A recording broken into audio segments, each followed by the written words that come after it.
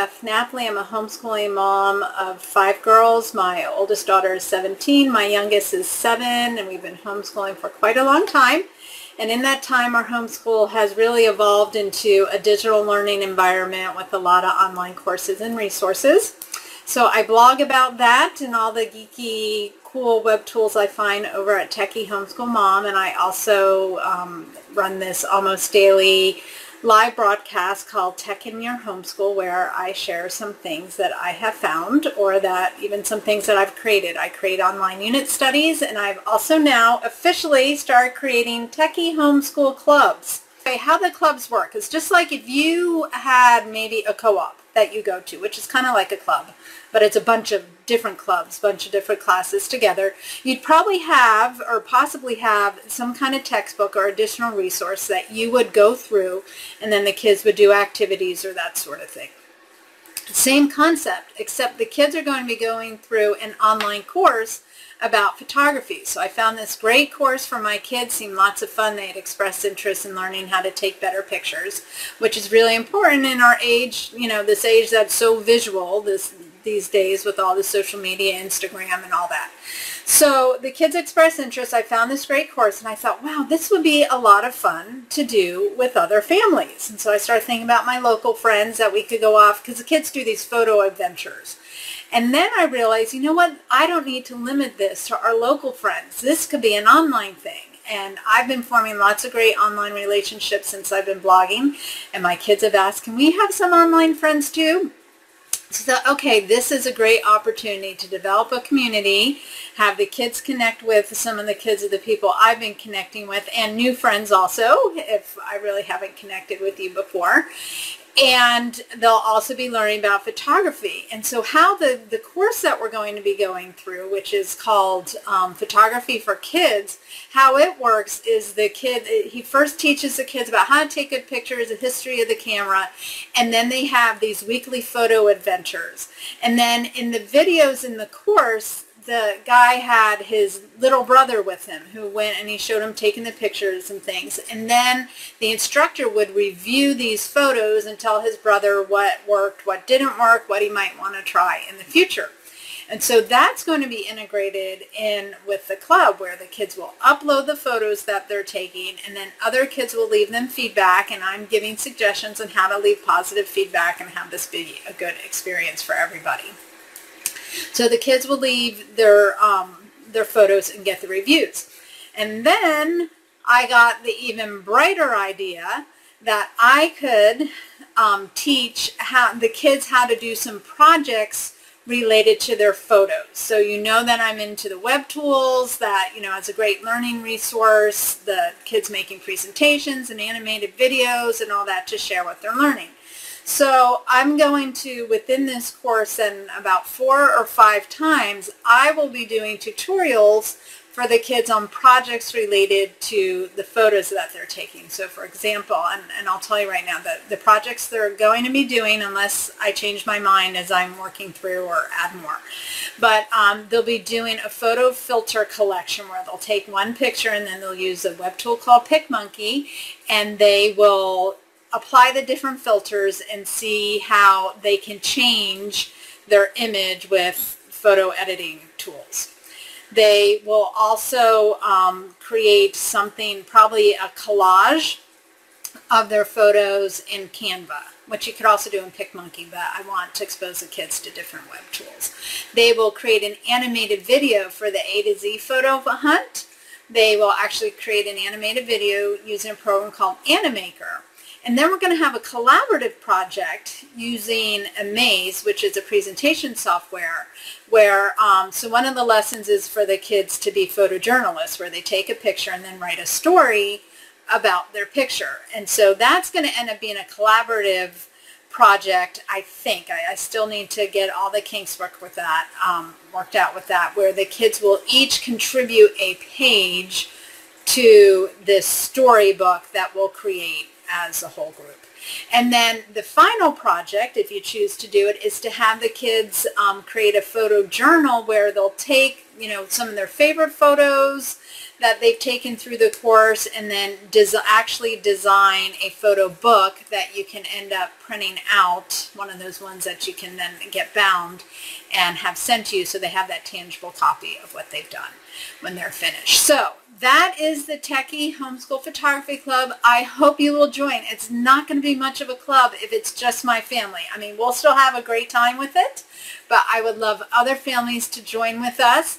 Um, the cost of the course, I've gotten a special discount code for club members, and so it's just $20. That is the cost for uh, the photography photography for kids course. So you got to buy that separate than your club membership.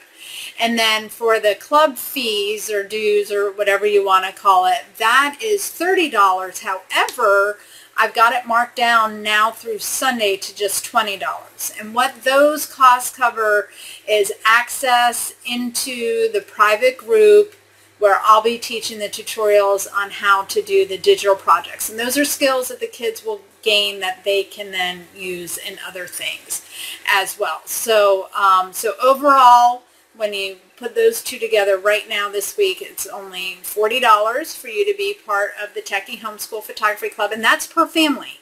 So you can have as many kids participate as you want, and then you'll have access to both those things forever. Um, and that's for 12 weeks worth of photo adventures and instruction and community safe community with other homeschooling families. So I'm going to show you a little bit inside of it. Um, I'm still working on setting it all up, but I want to get going. So to find it to buy, you just come my website, Techie Homeschool Mom, and click on this image over here, and it will take you to this page where you will purchase the Techie Homeschool Photography Club. But note, to participate, you also need to uh, purchase photography for kids. So after you purchase your club membership, you'll get an email from me with the link to get the photography for kids, or you could even just click the link right there. And that will take you to Udemy, where you will uh, log in. and actually um, go ahead and purchase the course as well. So after you do that, I will go ahead and add you. I have to manually add you into the club, so give me about 24 hours for that. And then you just need, in the future, just need to click over here on My Techie Homeschool Clubs, and you will see all of, right now it's just one, but you'll see the club that you are enrolled in. So you just come here, click on the club, and it will open up the group and you just always click continue to get to the lesson that you're on. What you're going to do once you get in here, hi, thanks for stopping in. Um, once you get here, these are the different lessons. So you'll start with the introduction. I'll have a project schedule. It's not up yet, but I will have that up soon. We're actually starting the adventures in a couple weeks, so the week of October 3rd. So if you kind of want to keep up with the program, you want to do one adventure week. I'll, um, you can click here to see what supplies you need. Once again, have a link to the course to enroll in. And then I'm going to have a section here for member introductions. So when your family joins in, I'd like the, um, you to take have the kids introduce themselves and leave a selfie of themselves and so the kids can kind of make connections if you're comfortable with that whatever you're most comfortable with. When you finish each of these um, second sections you just click mark complete. And then I have some instructions to get started. Before October 3rd it's going to be especially beneficial if you actually um, have the kids go through the introduction of the photography for kids and then we get started on the photo adventures. So in Photography for Kids, let me go ahead. I thought I had this up. Photography for Kids course. And I'll leave you the links like in this here for the video lessons. I'll tell you, you know, watch Project 1, Household Items and Photography for Kids. So you could just click here um, to get over to Udemy to that course that you purchased. And then, um, in fact, I'll just do that right here.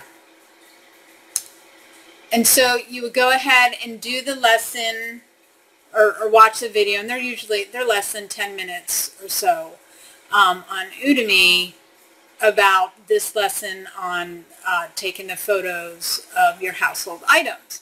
And so then you'd go on your adventure, you know, do it that day, have the kids do it around the house or, or whatever um, you want to do. And then you go back to your club and I have some instructions for you. So, so for example, in this one, the kids are going to be learning about storing photos, you know, thinking about, okay, what am I going to do with these pictures after I take them? Am I just going to keep them on my camera or I'm going to organize them? And so I encourage them to transfer them to storage um, site and like a cloud storage and delete them off the camera. So those are good techie skills and attitudes for the kids to have. And then choose one or two pictures that they're going to share down in the comments here. So they can just choose file, upload it, and post it to the comments. And then I have instructions for them to go and choose at least four images from other kids, other club members, and to leave some feedback for them. So they're not only are our kids going to be taking the pictures and analyzing their own, but they're also analyzing others and learning how to be a good critiquer. And so we're going to be using the tag method for that, where the kids are going to T, tell the photographer something they liked, and I give some ideas of how to start those phrases. A, to ask the photographer a question as a way to suggest an improvement for them. And G, to give the photographer a positive suggestion using phrases like, next time you might want to, or I think you could improve this by. And I'm hoping moms that you'll jump in with this and help the kids, you know, be kind and all that with it. So um, that's how the lessons will work. And then every few lessons, like I was saying, you will also then, and I don't have these made yet, but I will in time. You'll also get to um, a lesson where there's the digital project. So the first one will be the photo filter collection where the kids will use PicMonkey and they'll take one image and they'll just play around with it on changing the filters and deciding what do I like? Oh, this looks cool. This doesn't.